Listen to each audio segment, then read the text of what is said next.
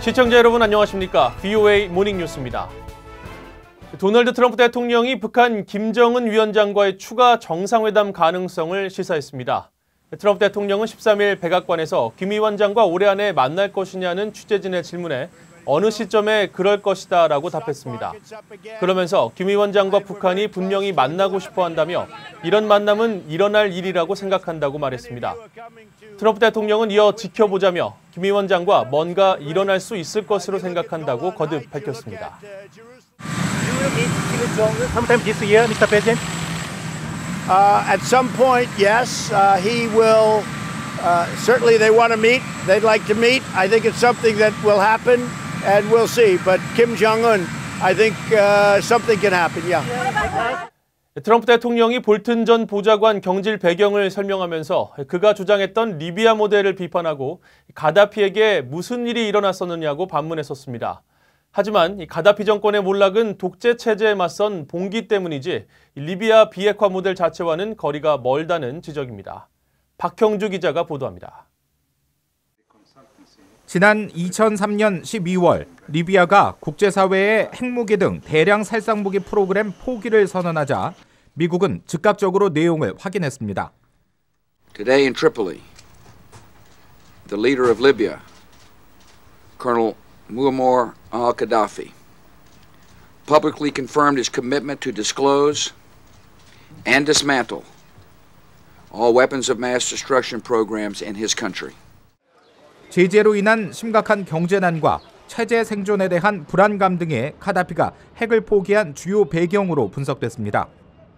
2005년 10월 리비아의 핵 폐기 완료 선언에 이어 이듬해엔 미국과 리비아 국교 정상화가 이루어졌고 리비아는 국제 무대에 빠르게 편입됐습니다. 그리고 2011년 10월 리비아에서는 민중 봉기와 내전이 벌어졌고 카다피는 처참한 죽음을 맞으며 42년간의 철권 통치는 막을 내렸습니다. 일각에서는 카다피의 비핵화 결단이 정권 붕괴를 자초한 게 아니냐는 분석이 제기됐지만 미 정부와 전문가들은 장기 독재의 염증을 느낀 국내 민주화 봉기가 정권 붕괴를 초래했다고 분석했습니다.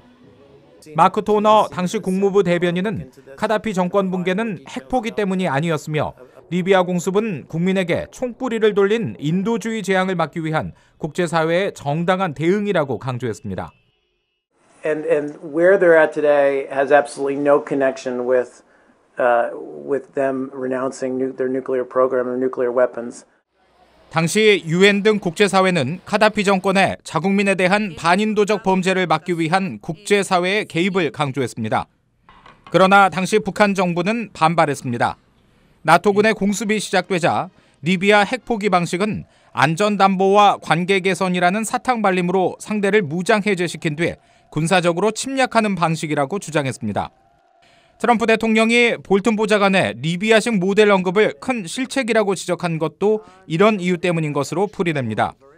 포괄적 합의, 단계적 보상, 다시 말해 선 핵포기 후 보상이란 리비아 비핵화 모델 자체보다 북한이 이를 정권 붕괴와 연계해 느끼는 불안감을 중요하게 여기지 않은 게 실책이라는 지적입니다. VOA 뉴스 박형주입니다. 도널드 트럼프 대통령이 존 볼튼 전 보좌관이 주장했던 리비아 모델을 비판한 것은 북한 김정은 위원장과의 관계 유지를 위한 것이라는 분석이 나왔습니다. 대북 제재 완화 여부에 대해서는 분석이 엇갈렸습니다. 미국 전문가들의 반응을 김영교 기자가 보도합니다. 데니스 와일더 전 백악관 아시아 담당 선임 보좌관은 북한 핵 문제에 대한 존 볼튼 전 보좌관의 리비아 방식 주장은 도널드 트럼프 대통령의 북한 문제 접근 방식에 걸림돌로 작용됐을 것으로 평가했습니다. 따라서 1년도 넘게 지난 리비아 모델에 대한 트럼프 대통령의 비판적 발언은 지난 과정들에 대한 결과 평가로 해석했습니다.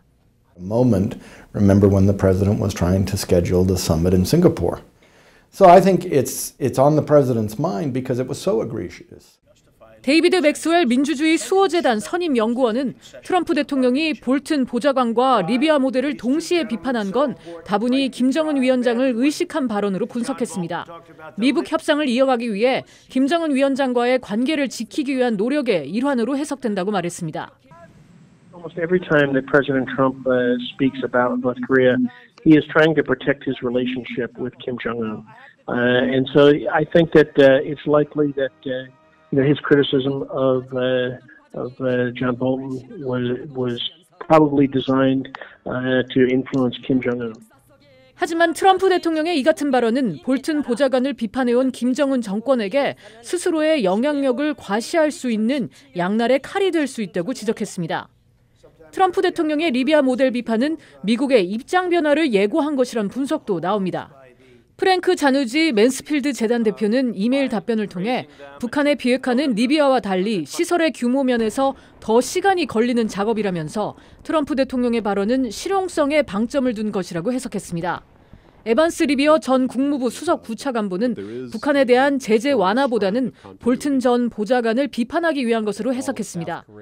반면 비핵화 이행 요구를 낮추라고 밀어붙이면 미국이 수용할 수도 있다는 희망을 북한에게 줬다고 분석했습니다. VOA 뉴스 김현경입니다. 중국 화웨이사가 적어도 8년 동안 북한 무선 통신망 구축 등을 지원했다는 최근 언론 보도가 있었는데 국무부 고위 당국자가 화웨이의 이런 문제점을 확인했습니다. 그러면서 중국 회사의 5G망을 도입하는 동맹국에 대해서는 정보 공유 등 공조 방식을 제고할 방침이라고 경고했습니다. 김동현 기자가 취재했습니다.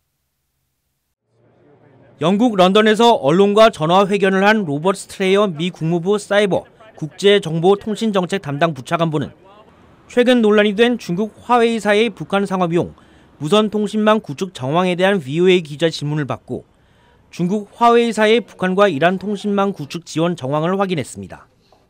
really comes as no surprise to us that Huawei is supplying technology to authoritarian regimes. They supplied their technology to Iran, and uh, it would be no surprise to us that they're uh, also supply, supplying it to uh, North Korea. 그러면서 화웨이사는 사실상 중국 공산당이 조종하고 있으며 여러 국가들에게 국민 감시 기술을 수출해 왔다는 점을 확인했다고 밝혔습니다. We know that now more than a million Uyghurs are in re-education camps. That has been part done by the uh, use of technology and surveillance. 스트레이어 부차관보는 이어 동맹국들의 화웨이사의 이동통신 기술 도입에 대해 경고했습니다. 나토 등 동맹국들이 화웨이사의 차세대 이동통신망 5G를 도입한다면 미국과의 정보 공유뿐 아니라 군사 동원도 장애가 된다면서 향후 공조 방식을 제고하겠다고 밝혔습니다. Uh, we will have to consider how we share information, uh, very valuable uh, information with those governments, um, and we also have to consider how we're going to work together. 화웨이사의 5G망 제재에 미온적 반응을 보이고 있는 한국에는 어떻게 대응하는지를 묻는 VOA 질문에는 보완 조치를 거듭 논의하고 있다고 답했습니다. 이날 함께 참석한 아짓파이 미 연방통신위원회 FCC 의장은 동맹국들의 적극적인 화웨이 제재 참여를 촉구했습니다.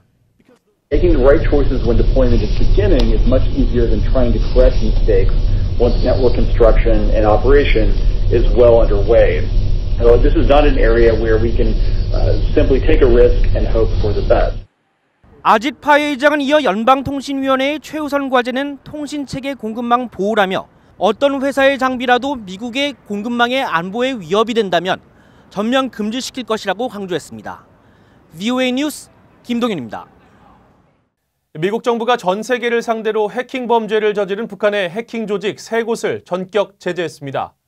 미 재무부 해외자산 통제실은 13일 북한의 해킹 조직 라자루스와 블루노로프, 안다리엘 등 세 곳을 특별 지정 제재 대상으로 지정하고 이 해킹 조직들이 미국과 유엔의 제재를 받고 있는 북한의 정찰 총국에 의해 통제되고 있다고 밝혔습니다. 특히 라자루스는 사이버 첩보와 정보 탈취, 현금 강탈, 파괴적인 악성 바이러스 유포 등을 통해 다른 나라 정부와 군, 금융, 언론기관 등을 비롯해 사회 기반 시설을 겨냥한 공격을 펼쳐왔다고 지적했습니다. 미 하원 외교위원회 브래드 셔먼 아태 소위 위원장이 한일 갈등이 미국에 피해를 주고 있다고 밝혔습니다. 셔먼 위원장은 최근 VOA 기자를 만나 일본과 한국이 서로 잘 지낼 수 없어 방위 협력을 하지 않는다는 이유로 미국이 방어 태세를 떠안고 더 많은 돈을 투입해야 한다는 건 부당하다고 말했습니다. 셔먼 소위원장은 그러면서 한일 갈등의 교착 상태에 좌절감을 느낀다며 두 나라는 이 문제를 바로잡아야 한다고 강조했습니다. 또 자신이 최근 국무부 고위 관계자에게 문의한 결과 국무부는 한일 갈등 중재를 위해 할 수 있는 것이 없다고 본다는 말을 들었다고 밝혔습니다. 이상으로 VOA 모닝 뉴스를 마칩니다. 시청해주신 여러분 고맙습니다.